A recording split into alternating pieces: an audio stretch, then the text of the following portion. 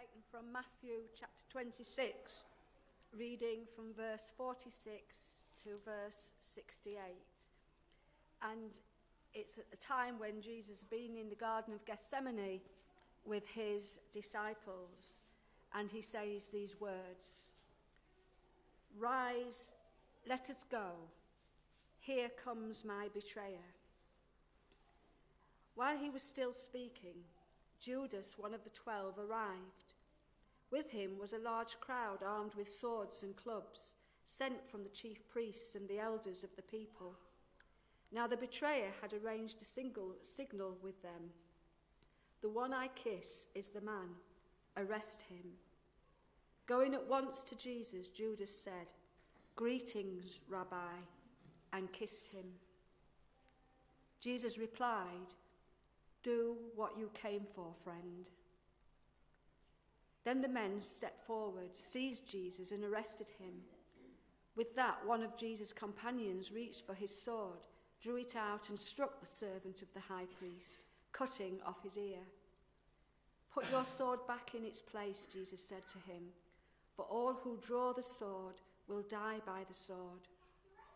Do you think I cannot call on my Father, and he will at once put at my disposal more than twelve legions of angels? But how then would the scriptures be fulfilled that say it must happen in this way? In that hour, Jesus said to the crowd, Am I leading a rebellion that you have come out with swords and clubs to capture me? Every day I sat in the temple courts teaching, and you did not arrest me. But this has all taken place that the writings of the prophets might be fulfilled. Then all the disciples deserted him and fled.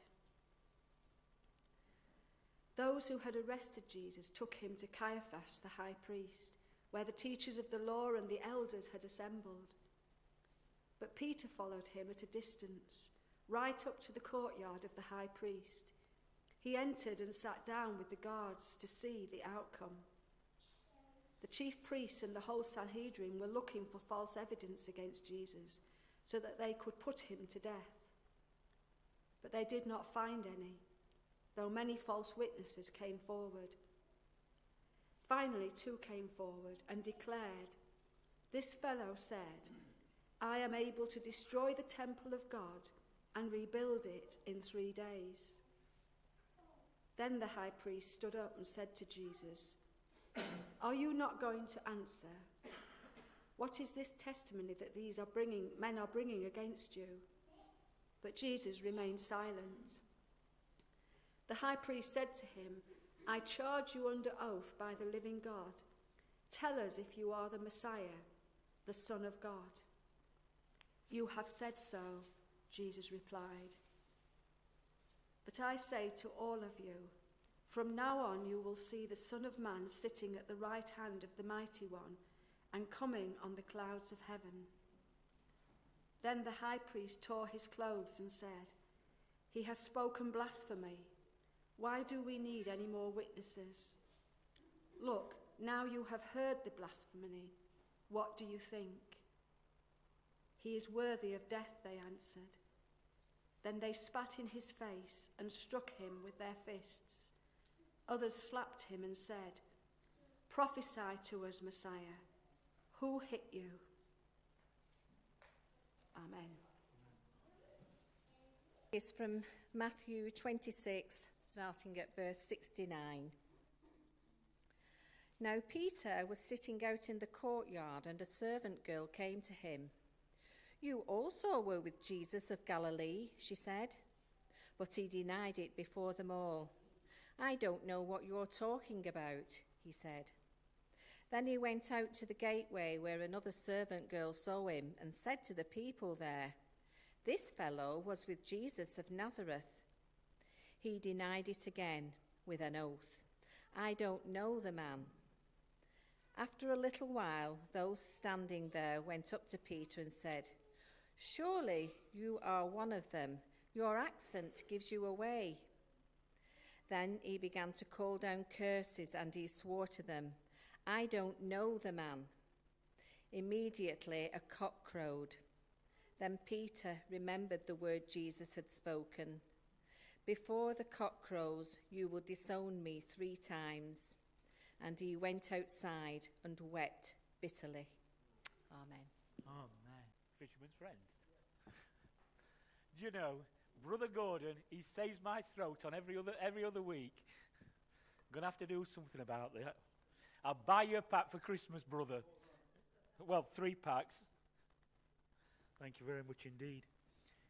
Well, we've uh, will have been uh, reading through the reading, uh, and I just remind you where we're at. We're in the middle of Lent, uh, fourth Sunday. That's what we said earlier on, isn't it? We're in the fourth Sunday of Lent, and Lent is a time when we move towards the cross of Jesus. That's its purpose. Um, and some of us have given up chocolate, some of us have given up sweets, uh, some of us have given up Facebook. But that isn't really, it's part of Lent for some of us. But Lent is about repentance. Re- Lent is about reconciliation. So that's what we're supposed to be thinking about right now. Are we right with God? Are we right with each other? That's, um, that's is, is our thought process. And it's a very long reading, that's why I split it into two. Um, and of course, our reading is about betrayal. That's, that's what it's about, isn't it? Um, you've got, following on from Stephen last week, um, betrayal of Judas and the climax of that betrayal as he comes and he kisses Jesus. Betrayed with a kiss. It's awfully poignant, isn't it? Judas, who betrayed him, said, Surely not I, Rabbi. He replied, You've said so. The Lord knew at all times where it was coming. And there is Judas come and kisses him on the cheek. Arrest him.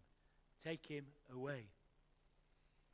And that must have been so cruel. And when we read about it, I know I read about it again and again, and we come this time of Lent, it comes into our readings. Betrayed by a kiss, betrayed by a friend. It hurts. And I know some people here know all about that. We'd be betrayed by a friend. But more importantly, Jesus knows all about betrayal. And if you're speaking to him and you are one that's been betrayed, the words of Jesus are powerful and true. At that communion feast, surely not I. Jesus and Judas sat down and shared bread and wine together in the knowledge of betrayal. Then it goes on to this kangaroo court. You know, um, I spent ever such a lot of time reading about what, what the proper court should have been like. There should have been um, proper charges. There should have been proper witnesses. There should have been two of every witness so everything could be verified. And you notice that reading there? There was only one came up with one witness, one person said. It was a completely kangaroo court. Jesus was betrayed by the, rule, the law of Moses. Our Lord had set out statutes. And at this kangaroo court, not one statute was obeyed. Not one. They couldn't have found him guilty because it's a rogue court. It was a sham. Justice had been set up. And friends, it reminds me, a lot of us are thinking about justice right now. Um, some of us, with regard to the Methodist Church, what is justice? There was no justice for Jesus, even, if, even though a system of justice had been set up. But the, the part that I want to focus upon is, is, G, is Peter. And I think Peter's betrayal is the most poignant because it can be each and every one of us. Each and every one of us can be allowed ourselves to be put into a place where we betray our Lord. And I know several of us here would say, Not me, never. Not me, never, ever, ever am I going to betray Jesus because I love Jesus. And I hear that again and again and again. Peter loved Jesus. Again and again we hear that. There was no, it wasn't lack of love that caused Peter to betray his Lord and Savior. Jesus knew. He'd said to Peter a long time ago that he would deny him three times before the evening had passed. And as, even as Jesus said it, it's hard um, to believe because Peter was the one who said, I'd die for you. I'd lay down my life for you. Peter was the one, do you remember? He walked upon the water. He was the one that said, You are the Messiah. You are the Christ.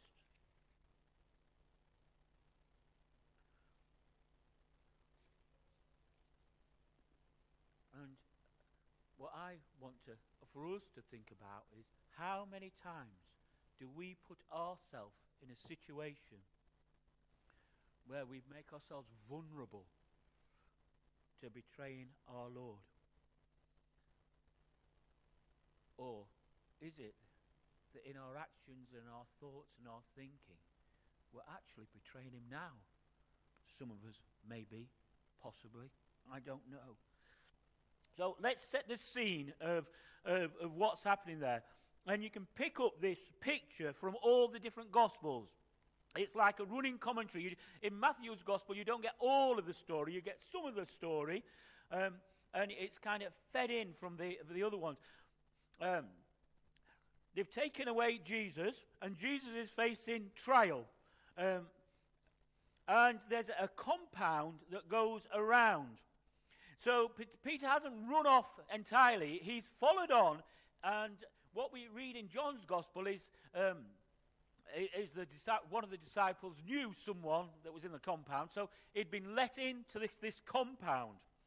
And I suspect he's gone um, to, to run after Jesus, um, to being close to him, and all of those different things. And I don't know whether he could hear the trial going on. Perhaps he could, perhaps he couldn't. I don't know. Perhaps he could have heard the accusations being placed upon his Lord and his Savior.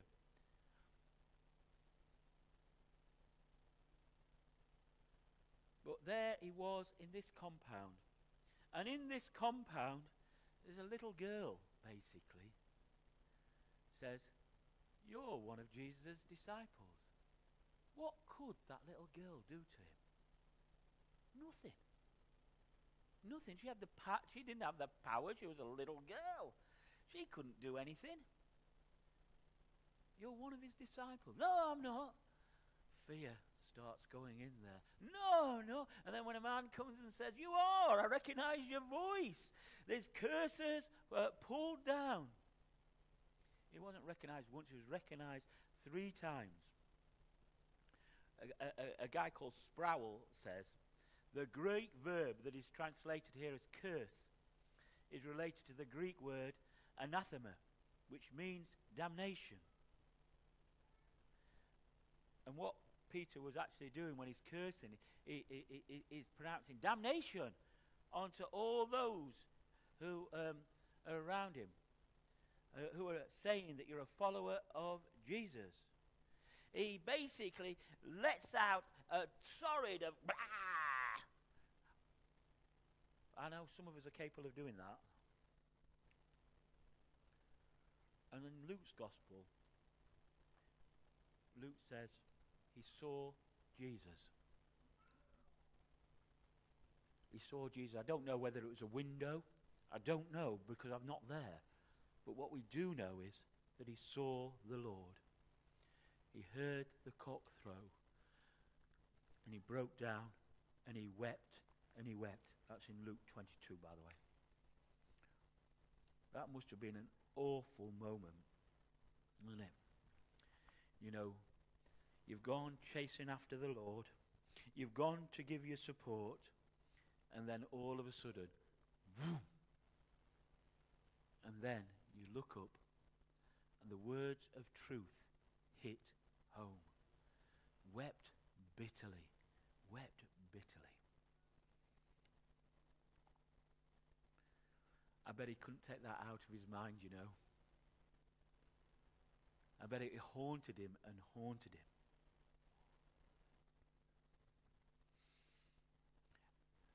Some of us may be astounded at how easily Peter fell. He was part of the in crowd, wasn't he? Him, John, and Andrew. They were the, they were the guys, they were the solid ones. But he did fall. And friends, there's a lesson for us here in the falling of Peter. How might we fall? How might we become susceptible? How might we protect ourselves? We're in a period of repentance and reconciliation, yes? That's what we're being called to do, to prepare for the cross. If it had been the rich young ruler, we'd have gone, mmm, because that's what happens to rich young rulers. If it had been Nicodemus, we'd have gone, mmm, because Nicodemus always was afraid of going in the light. But here, it's Jesus. Peter made some mistakes, it would seem to me. The first mistake that Peter made is he did not heed Jesus' warnings. Jesus told him what's going to happen, and he told him when it was going to happen, and he still carried on. And it would seem to me in his word and in our prayer life and in our life, God speaks. And some of us listen, and some of us perhaps don't. And some of us perhaps say, well, actually, my way, not your way, Lord. The first thing that Jesus said in the Garden of Gethsemane, wasn't it? Shall we all pray? Shall we pray? That's a warning, isn't it? And it's an encouragement. And friends, I just want to ask you as we go through a period of repentance and reconciliation, we're waiting for the cross and the freedom and the love and the eternity that it brings. What is our prayer life like? Do we pray? Are we on our knees at a night time or in the morning? Are we joining in the, uh, in, the, in the prayer group? Are we joining in our prayer triplets? When we have our fellowship groups, is it just that nonchalant bit at the end when we, we perhaps do this, this, and this? Or are we fervently praying? Peter fell asleep. Prayer wasn't on his agenda with the rest of the disciples. What does it tell us in the Bible? Apart from me, you can do nothing. And friends, in our own strength, we are not strong enough. That's why Jesus said, pray and pray and pray and pray. Because without prayer, a week without prayer makes you weak. Yeah. I, uh, you know, I thought you weren't going to be with me then. I thought you'd all gone. Oh, come on, John, hurry up, hurry up. The Bible tells us we're to study. We're to study. That's what the Bible says. To, we're to study to show ourselves as work people, or workmen, it says, who need not be ashamed. Do you remember that in 2 Timothy? We only did it a bit ago, didn't we? Yeah, study. We're told to hide the word in our heart. Friends, if it's gathering dust, you ain't studying it. If you're playing on your phone rather than looking at the word, you ain't studying it. It's really abundantly clean, uh, clear. We're told to keep the Sabbath day. We're told to bring up our ch- children in the way that we should go. And one of the things that happens in our Western world, it would seem more and more and more, is we start to think that we're smarter and we're wiser than the Lord. That happened right at the, right at the very beginning. Um, a great big tower was built, wasn't it? because they thought they were wiser and cleverer than God comes crashing down. We're not. Perhaps some of us think, well, how can God understand my situation? How can he understand what I'm going through today or tonight or tomorrow? How can he understand the pain that I'm in? How can he understand what it's like? Well, look, when we listen to the story of Jesus, he understands every single human emotion. He understands betrayal. He understands lust. He understands the, the desire for power. He understands every single one of them. He understands being lonely. He understands being afraid. He understands what you are feeling today. Don't think he does not. Peter had got himself into that situation of thinking he was better than everyone else. And it, it's, a, it, it's an awful trap, and I, have I've been there, uh, and, uh, and, and I've, uh, I've preached, and I thought, that sermon was so good for little Flossie. It was so good because it addressed all her needs. Actually, it's so good for me. And it's so good for you. And it's so easy to displace from us and say, well, we're all right. We've got it right. It's good for them, good for them, good for them. But we forget it's also good for us.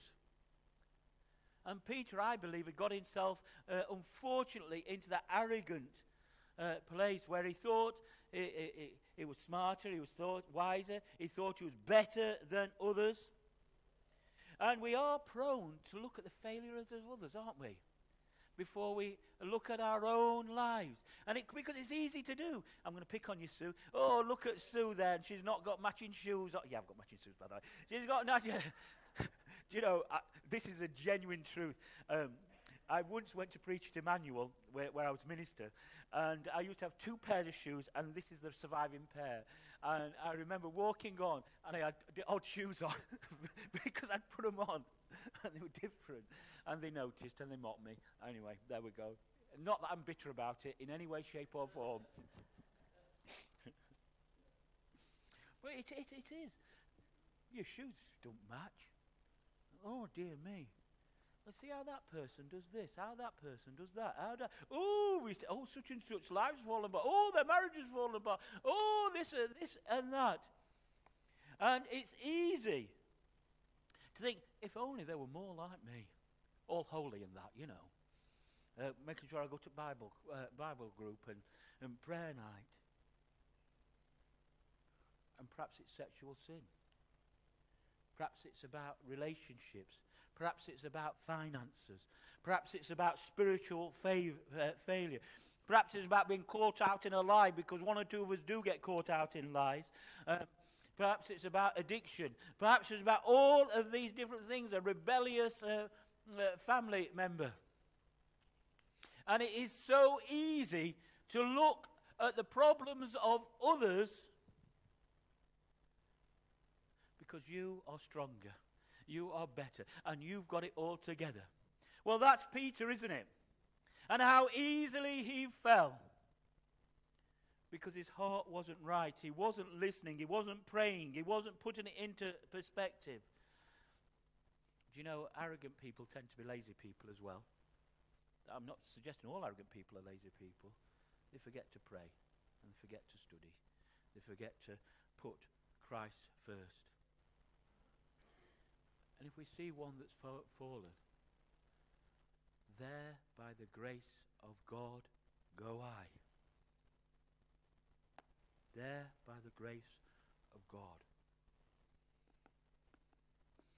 I can remember, and it's a shame on the old youth group. Oh, well, Helen, you are here.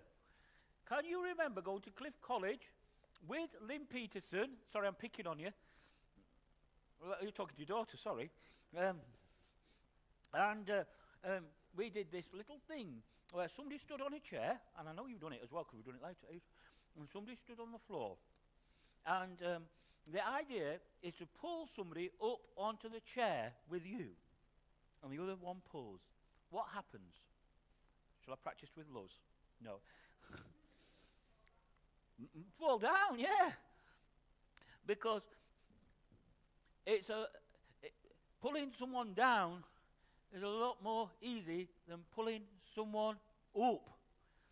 And I can remember doing that at Cliff. Um, oh, I can remember it, there was Wayne there. Um, anyway, don't matter.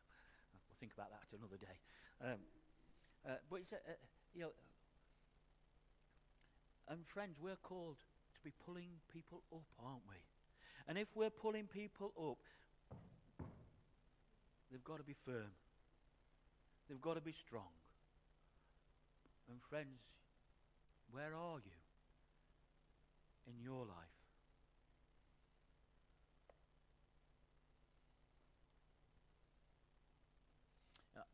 I heard about this um, Christian man. He went to work in, in a casino, and uh, and when he, he he was asked about it, and he was asked about the wisdom of it, and he continually, and he says, "I'm there to witness to the people. I'm that's what I'm going. I'm going to witness to the people that are there." And he had challenge after challenge after challenge. But there, later on, it was found that this man also developed a gambling addiction. And friends, there by the grace of God go I. Don't think yourself so arrogant that you won't put yourself in a place of danger.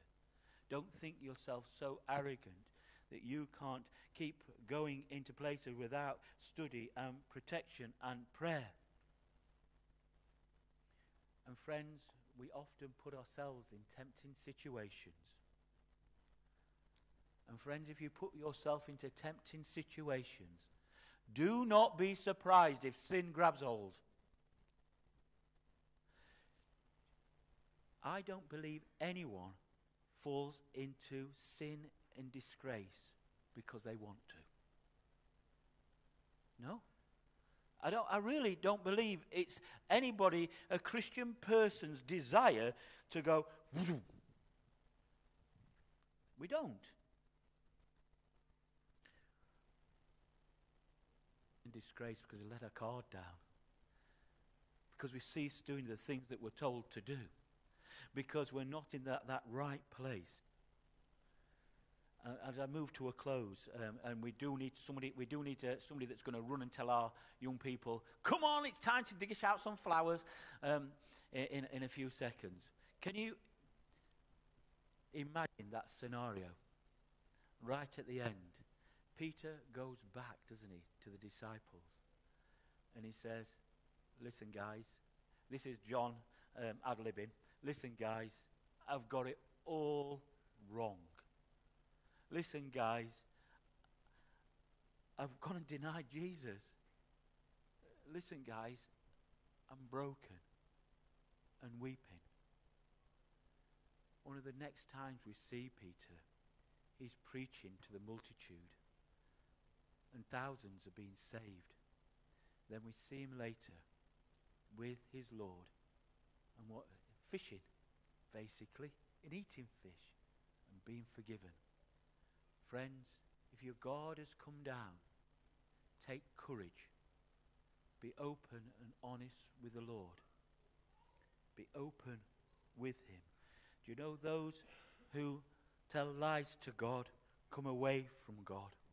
Those who tell the truth to God draw close to Him. Friends, you know if you're in a time when you need to repent. You know if you're in a time where you need to be reconciled. And I suspect on this journey to the cross, there'll be one or two of us that need to alter our thinking, alter our prayer life, and point ourselves in the right direction. Amen.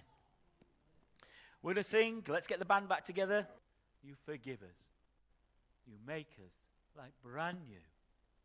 And Father, we thank you that we stand in the shadow of such love that forgives our sin and restores us to fullness of life. Father, we take our offering today. And Father, we offer it to you. Father, as part of our worship, as part of our sacrifice. And Lord, we pray that you would use it so that your kingdom would grow.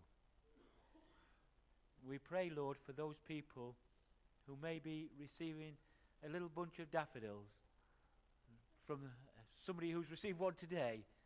And we pray, Lord, that your love would touch the heart of those who need it. And bless us, Lord. And may the blessing of God, Father, Son, and Holy Spirit be with us now and forevermore. Amen. Please be seated.